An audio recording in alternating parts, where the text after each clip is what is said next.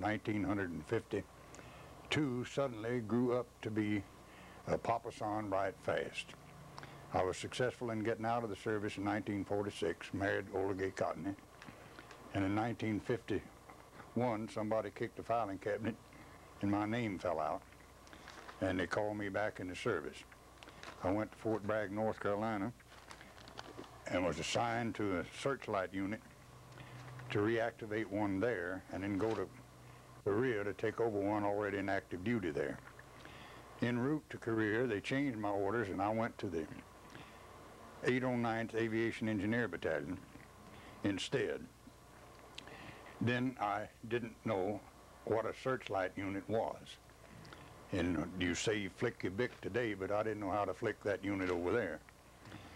And I was glad that they transferred me into the aviation engineer.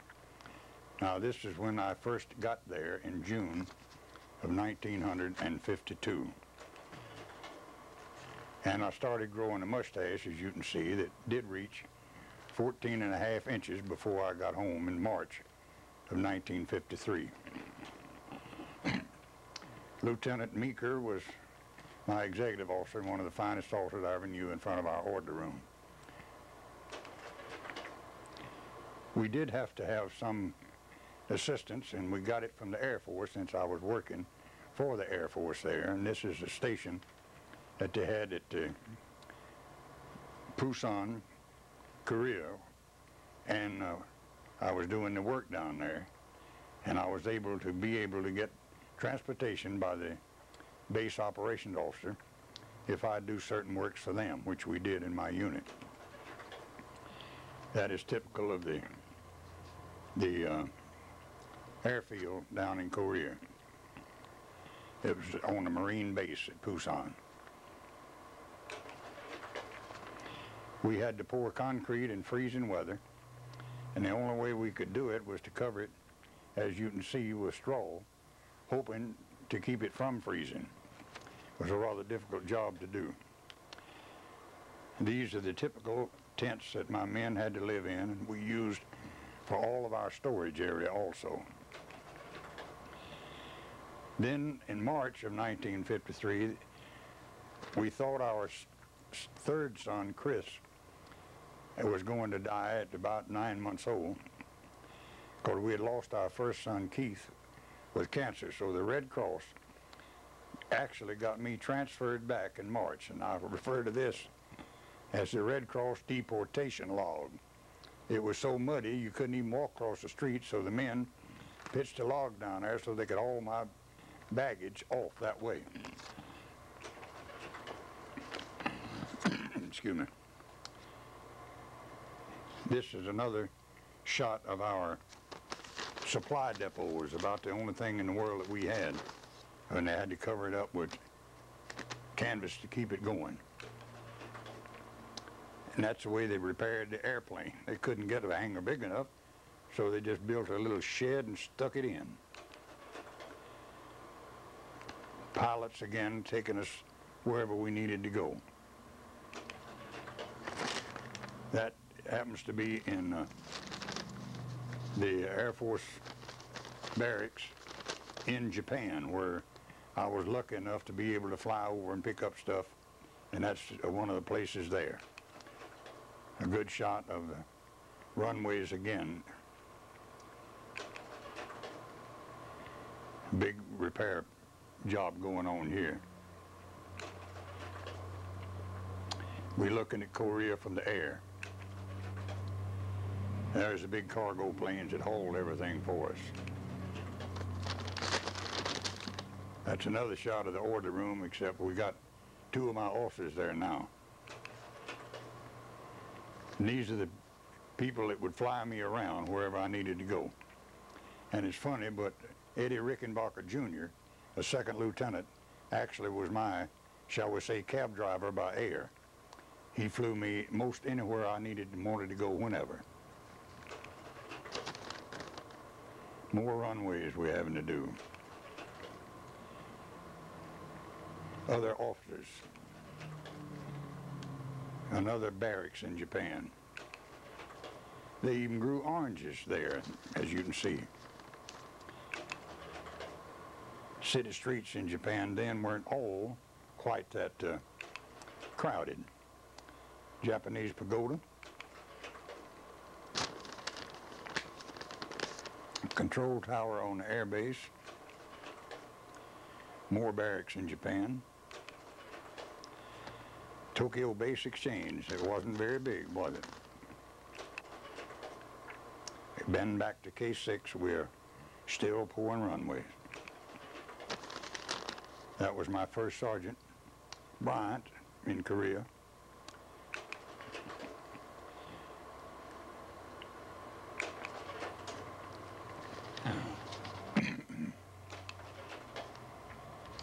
More runways.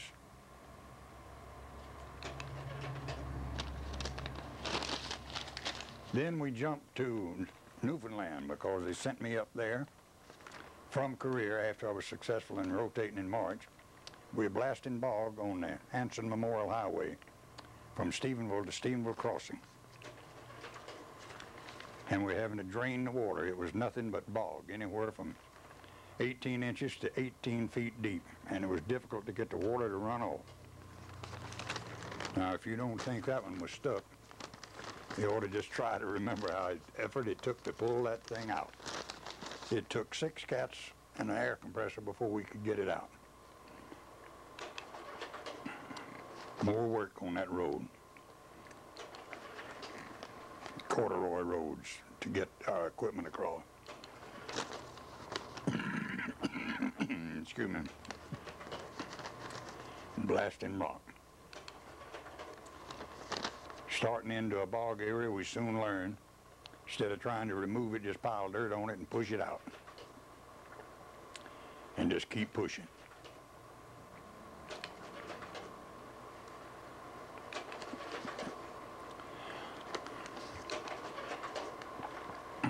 That's a 50 ton rock crusher we had to carry wherever we wanted to go. It was one of our table of basic equipment pieces we had ourselves. This is the side of a 150 ton rock crusher that we used down by Noel's Pond. We're heading toward what they call Cold Duck Creek, trying to get a culvert in, as you see there. The road now, we have done some pretty well finishing of it. About sometime in 1955 was when this picture was taken. And another shot of Noel's Pond where the 150 ton rock crusher was. Again, about 1955.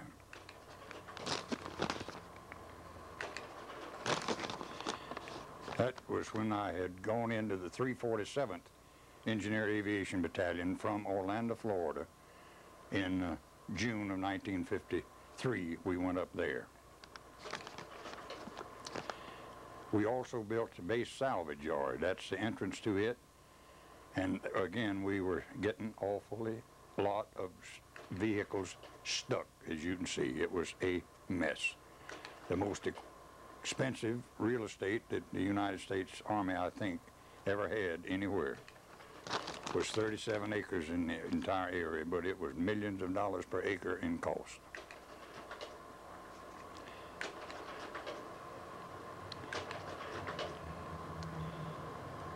Then we just filled up some of the holes after we got stuck up on the salvage yard with dirt, as you can see, stumps, rocks, you name it.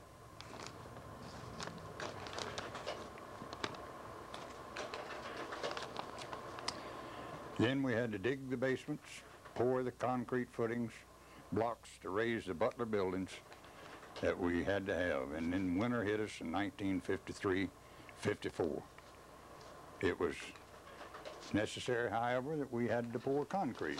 So, yep, we built a shed over it, canvas, put heaters in it, and kept working. Lieutenants sometime argue a little bit.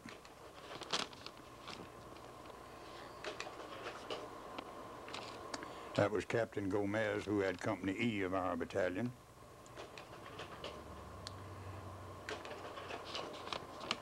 Sergeant Snyder's the man on the right with his shirt still on. He was my master sergeant and the operations officer when I became major and was the operations officer for the battalion. in finishing up this work.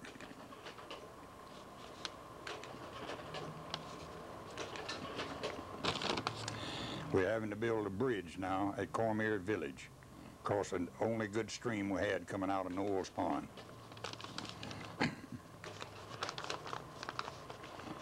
There is a couple of shots of the same in here that, well, you can't be perfect. That's the first one I showed you about blasting in Newfoundland, but there it is again.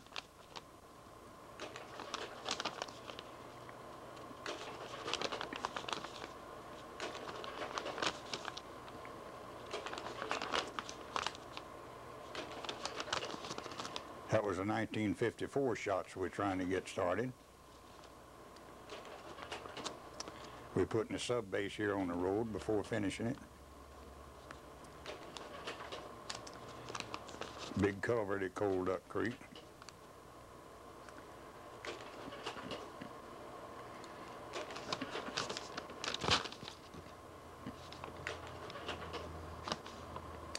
And it even had to be worked in when it was snow and ice. We finally got it across the road, however. Again, they're going to argue.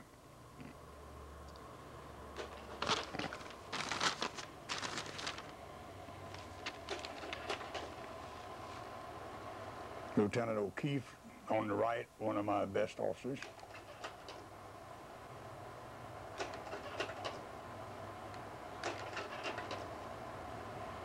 Captain Gomez at another spot.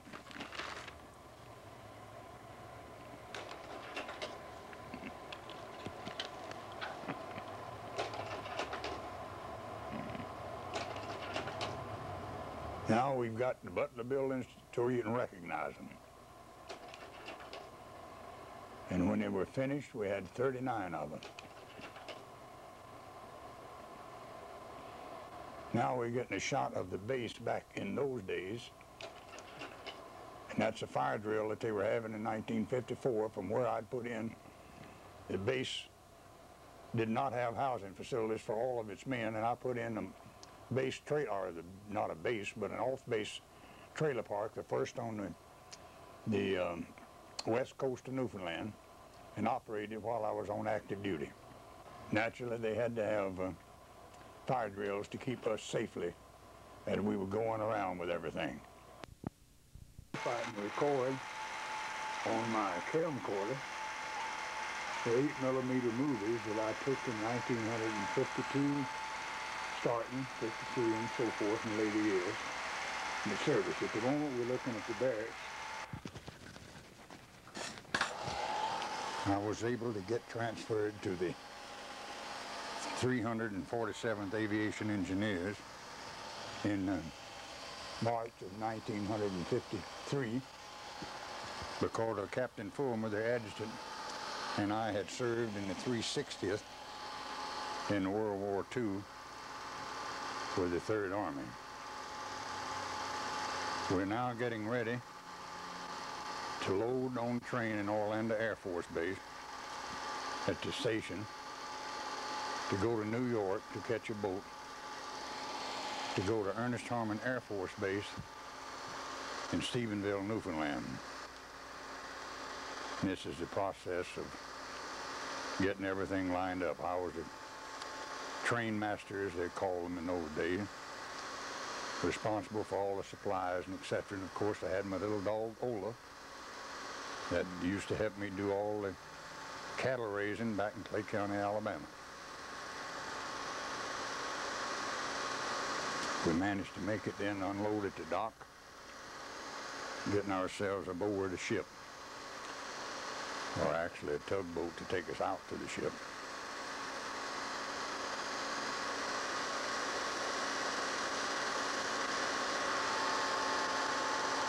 They even had a band to tell us goodbye, like we were going into a war. In some respects, it was a war with nature in Newfoundland.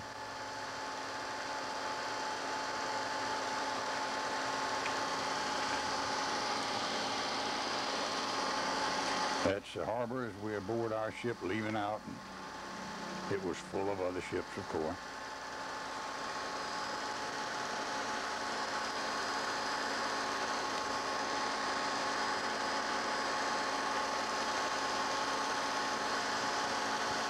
Boat captain.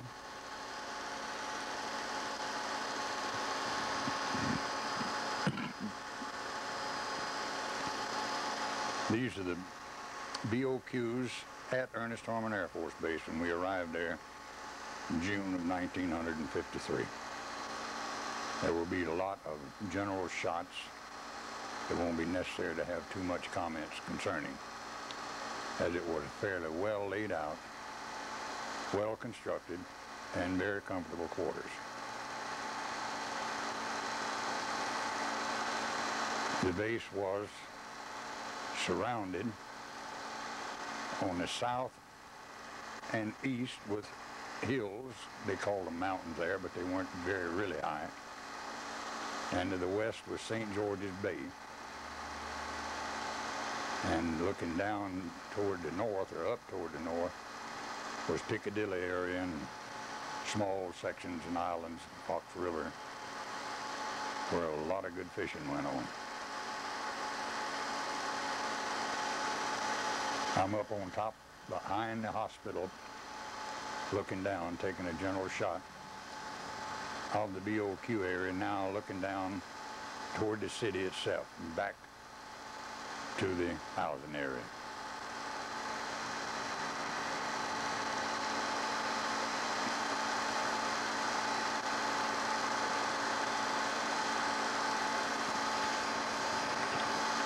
Tank farm.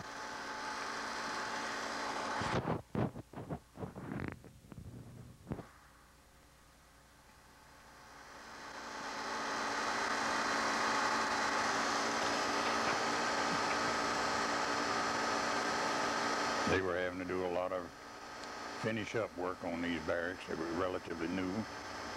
Paving hadn't been completed, of course landscaping was not done.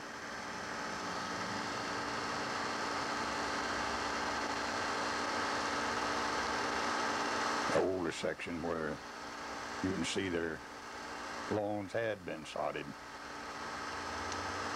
These is where our company's moved into.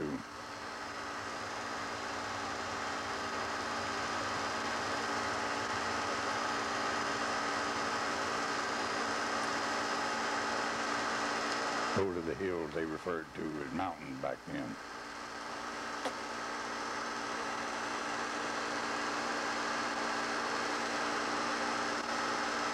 About 5,000 military personnel here.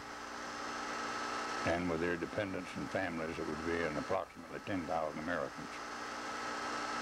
More than half of them had to have housing in the city of Stephenville, so the base housing did not furnish sufficient for as many as half of them. Housing was in quite a shortage in 1953. Now this is in the winter of 53 and when the snow hit. And we're in the city of Stephenville itself now on Main Street with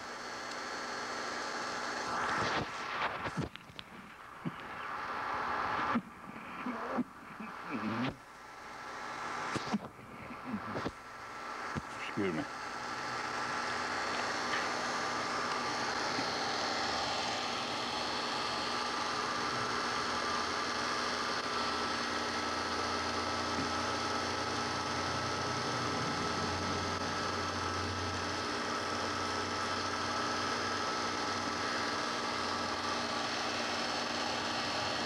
That's Nelson Shiflett, who later went in business with me and robbed me blind when I opened the first laundromat in Newfoundland.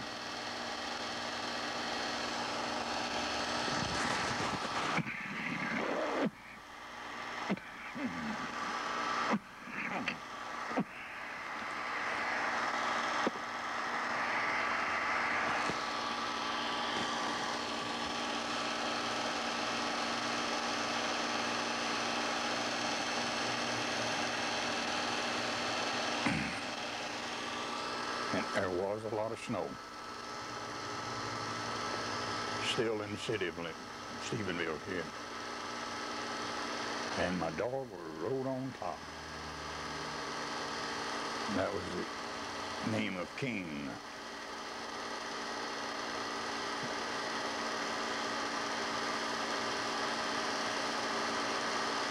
This dog didn't like us outside taking pictures.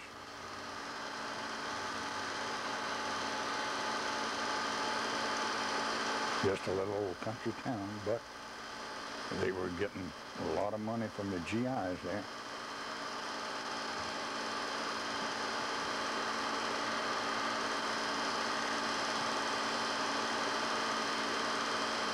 This is Cormier's Hotel. He, at that time, was about the wealthiest man in Stephenville. Of course, having uh, 23 kids might have had something to do with it.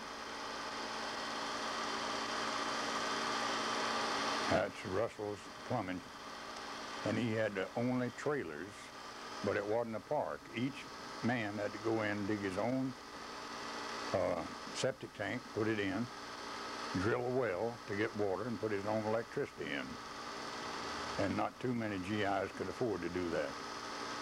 That's what motivated me to put in the first trailer park, which I did, and I had 46 trailers moved in there. And we constructed that and built it from July of 1953 until the middle of August it was completed.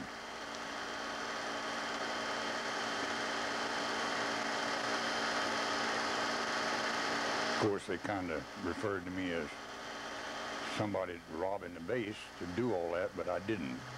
I paid for everything. Incidentally, we're looking at the main entrance to the base in 1953. Wasn't that something? This is up Moonshine Valley Road, looking north. Now I'm looking toward the east. And the Air Police Headquarters building, there she comes, right there. You had to go in there to get passes to get people to go into the base that didn't have a decal on the car.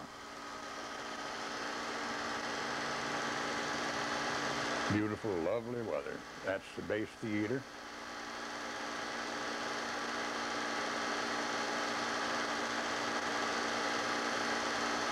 Cost all of a quarter in those days.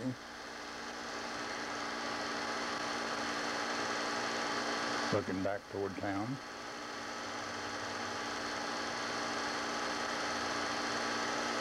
And then looking up toward the base headquarters.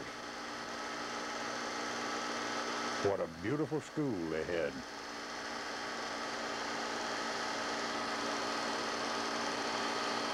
There is your base headquarters, right there.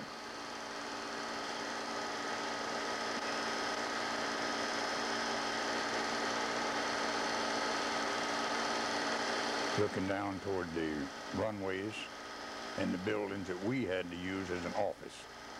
Now this is in the winter of 1954 after Vicky was born in September and the two little boys are chasing around with daddy looking at the the uh, sign while mama's taking the movies. My company D headquarters and men lived in this building here.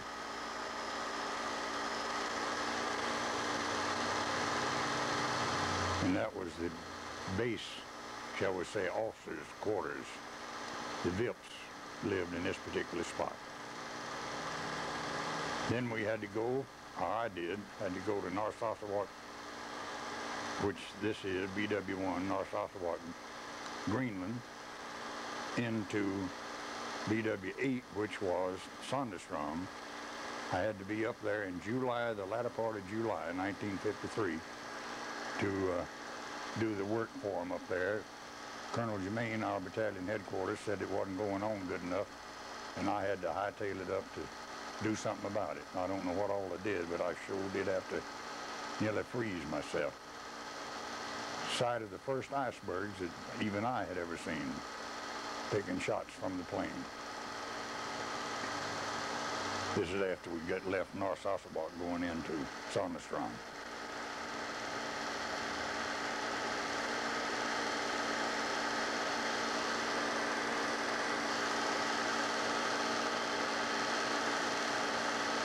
There were a few of them.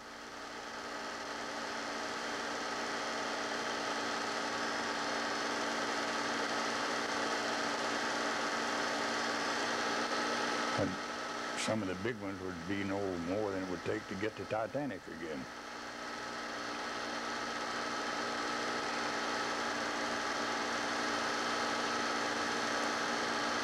Now we're approaching the landing area in Sondrestrom.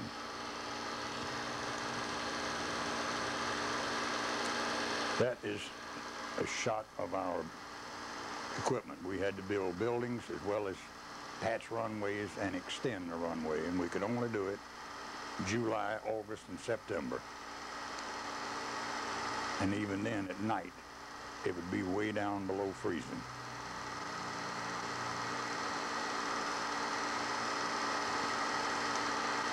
Barren is the word. It was only used really as a fuel stop, which was necessary in those days as the planes weren't capable of flying all the way across the ocean. They had to pick up gas and they hadn't even gotten tankers ready to fill them at that point. Those tents are where my men lived when we were up there. And that's our warehouse area.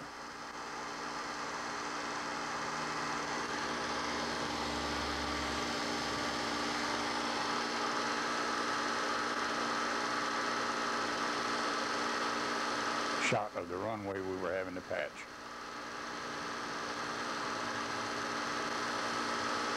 They did have a few mountains there. Most of them, of course, as you see, bare.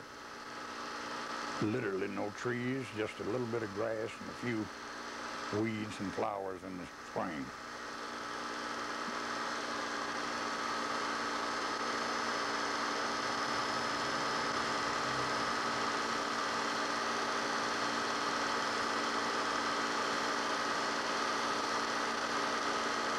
In that little lake there, you could catch some of the best Arctic char, and we did do it quite often.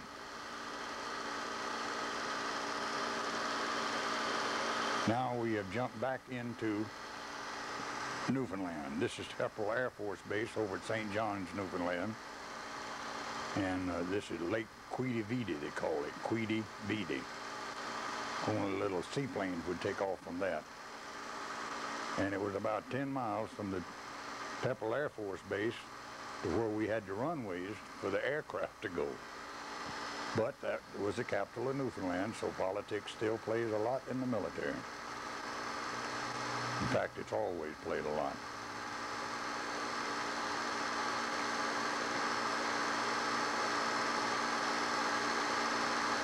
Quite a nice little plane.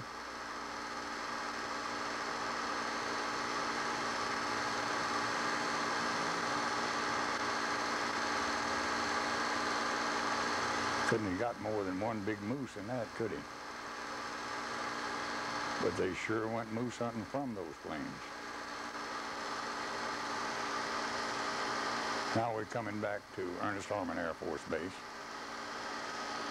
looking at the runways in the winter and the equipment that we had to have to clean it. The tank farm down at Port Harmon where the ships came in. We're back into Stephenville now. That was the groceteria that we had in old days.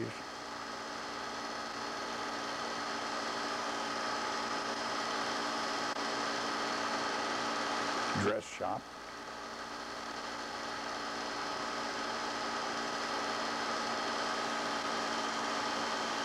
Now this would be in 1954 here.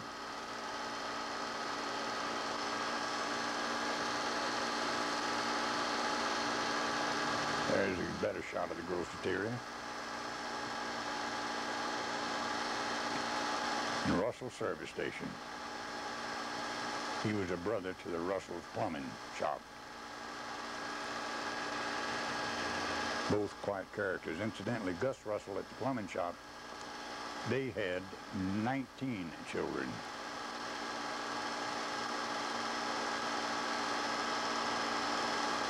There's old King up on top, and of course the king of all whiskey bottles for the GI. This is the winter of 54, looking across Moonshine Valley Road from Stephenville.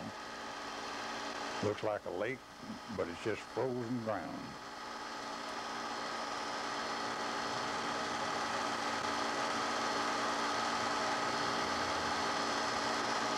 I suppose you'd say that since these were taken in 1953 and 4, they've held up pretty well. We've moved to Corner Brook, Newfoundland now, which is about 64 miles from Stephenville going up north. And that is the largest pulpwood mill in the world, Bowaters Pulpwood Mill there. That is at that time. Again, this is 1954. And they did have a lot of pulpwood in that pile.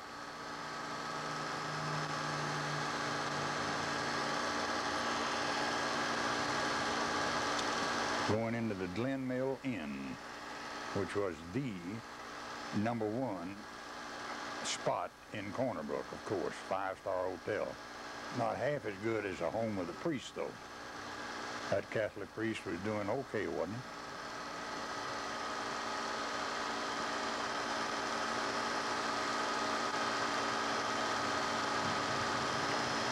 Nice garden area he had.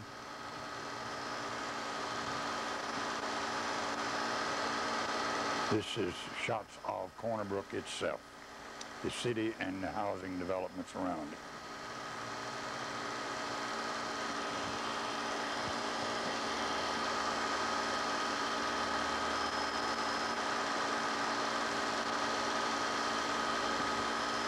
the neighborhood of a 60,000 populated place at that time.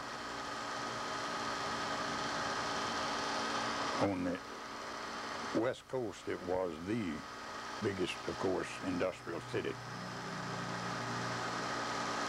We went from there to Gander, which is at the northern part, to get to St. John's on the only one road that reached from Port to Argentia Naval Station way over on the southwest coast, I beg your pardon, southeast coast of Newfoundland.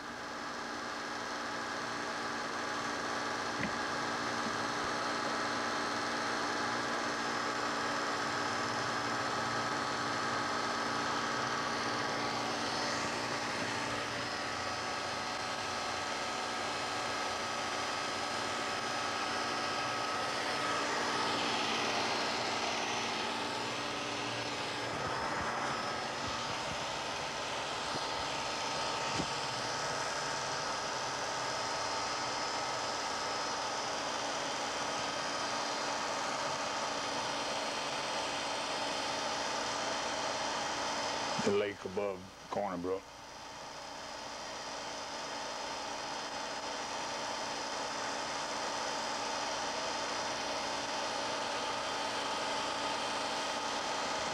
Now this is the Pickering Hotel. Mr. and Ms. Pickering became very good friends of ours. We enjoyed them tremendously. In fact, Gay played the music for their daughter's wedding, and they got us into the country club there in Corner Brook, which made life sort of enjoyable, as it was in the largest log hut at that time in the world. And this is Gay and I coming out of the, or Gay rather, coming out of the country club.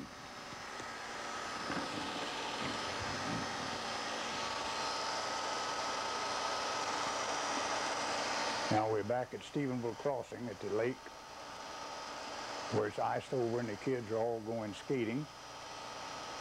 And they really did a lot of skating in the wintertime around that area.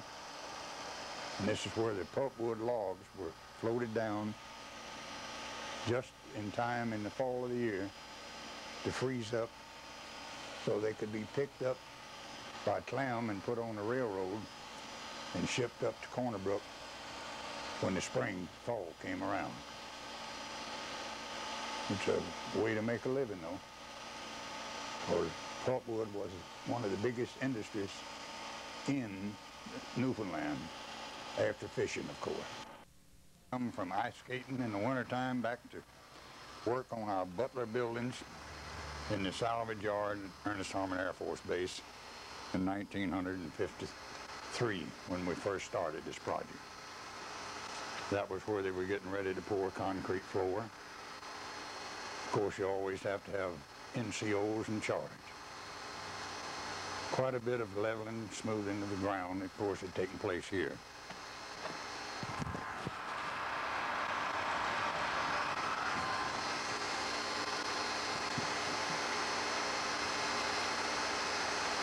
We did have a little scrap left, which we tried to carefully keep piled up.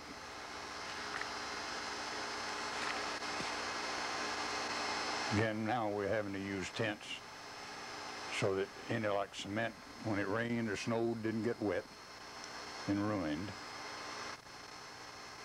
That equipment was rather expensive, but we had to have it.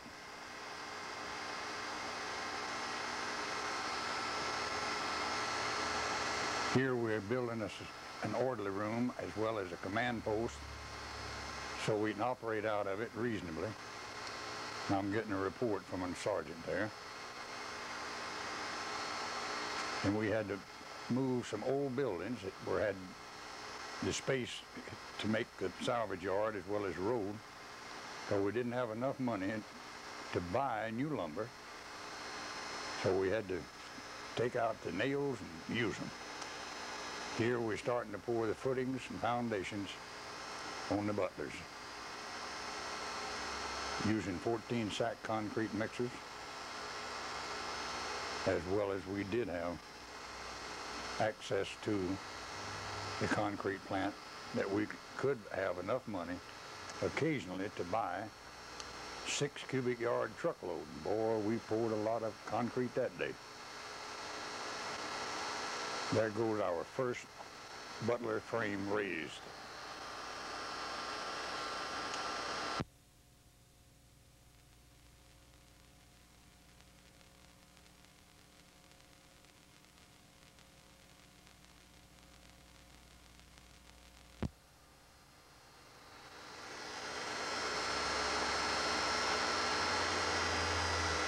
Yes, it took a lot of water.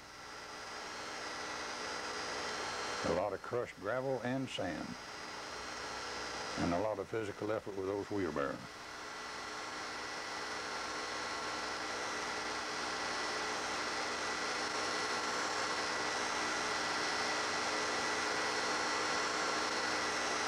And I have not speeded up this 8 millimeter movie.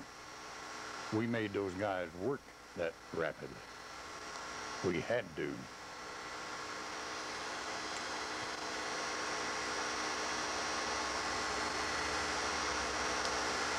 Here we are pushing this rock that we had hauled in from wherever I could find it to the 150 ton rock crusher down by Noel's Pond as this is here so we could get our aggregate as well as our sand to mix for the concrete.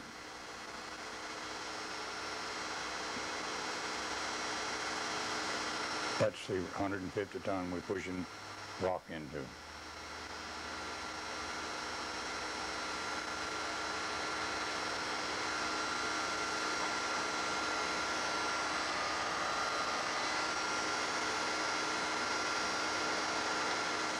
It was a lovely country if you could forget to work.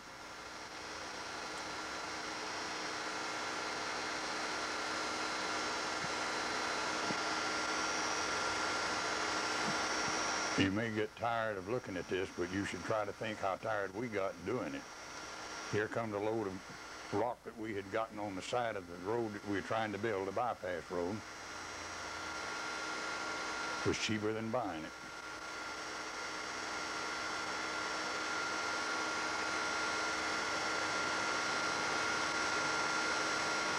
And we did have mounds of it that we could haul when we needed it.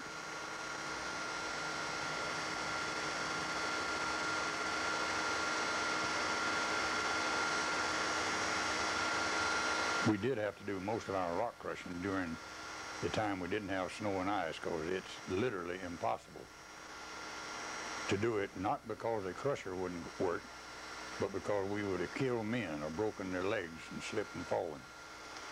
It was a safety hazard. We could not do that during the actual snow periods.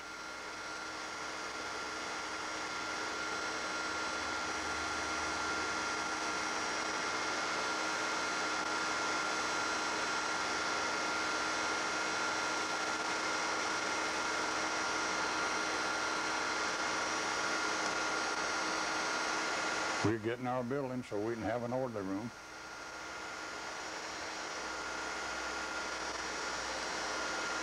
More piles of gravel down by. the Tyler Breslin Company out of Kentucky had this asphalt plant that they were furnishing all the asphalt for J.A. Jones Construction Company out of Charlotte, North Carolina, who had the contract to add a new 10,000 foot runway and build quite a few buildings. This was their area where we were occasionally able to get enough money to buy some of the stuff. Well, I made a horse trade with their equipment manager there. I had some equipment he didn't. He had some that I didn't. So we charged each other and rented from each other, but never passed a dime. However, we both kept records because we knew that sooner or later somebody would hang both of us because you can't rent in the military. That would have been me get hung. And you can't use it from the civilian life. That would have been him getting hung. But poor old Jack, instead of getting hung, he got full. Not Jack, excuse me, that was King.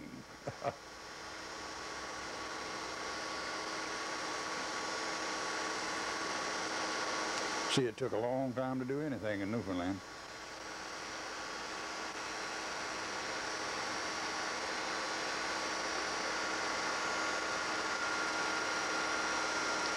We haven't even put a little bridge across here, covered across there.